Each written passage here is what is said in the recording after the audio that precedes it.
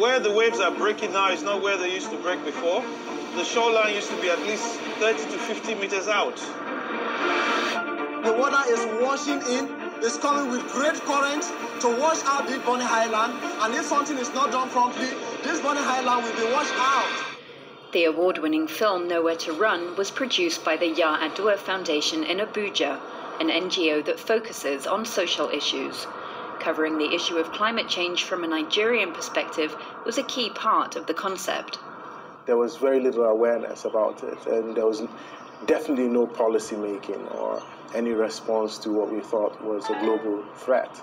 And we felt that if you had a documentary that it was in people's faces and told the story of climate change from a Nigerian perspective, that it would it would have that that impact of raising raising awareness. The film shows that Nigeria is one of the countries most affected by climate change. Sea levels are rising, while Lake Chad is shrinking, and desertification is advancing rapidly.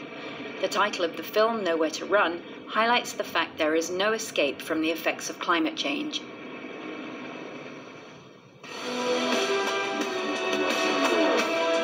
Community, over 180 children is affected by crude oil. By inhaling the crude oil, no, it's gas. The gas flaring in, in Nigeria is the largest single contributor to CO2 in Africa. The only natural absorbent to these greenhouse gases is the plants.